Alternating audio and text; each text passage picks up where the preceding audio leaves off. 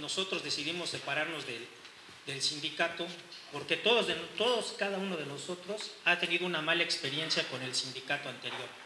Un servidor, le repito, ha sido tres veces delegado de piso, candidato a la Secretaría General, y que resulta que sus estatutos, por ser candidatos de unidad del sindicato, llevan el 48% de ventaja ante cualquiera que quiera participar.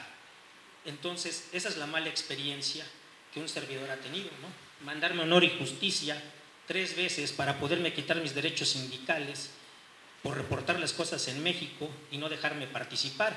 Esa es una. Aquí tenemos algo más grave y te lo voy a decir. Tenemos en el comité una compañera que se iba a ir de cambio de, cambio de residencia a Mérida, ¿sí? Pero como su marido se lleva bien con el secretario general, bloquean su cambio, Investigando en la ciudad de Mérida, no tiene ningún cambio en trámite. Imagínense lo infantil que es un secretario general en bloquear a una persona en una cuestión personal, ¿no? Nada más porque me llevo bien con él. Tenemos otro, otro caso, el escalafón. El escalafón es el número que llevamos para algún cambio. Por ejemplo, yo soy enfermero general o auxiliar y estoy esperando mi cambio de jefe de piso.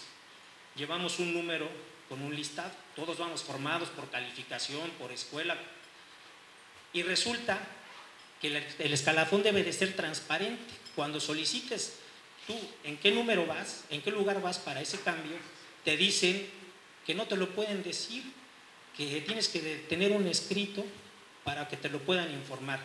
¿Qué pasa? Como todo, se pagan favores de campaña, que como no te lo dicen, la última vez que era hacer es el 76 y resulta que el que era el 95 ya le dieron ese cambio ¿Y saben qué hacen? Lo van a esconder a la ciudad de Chetumal, a la, capital, a Chetumal o en Cozumel, donde es difícil que alguien se entere.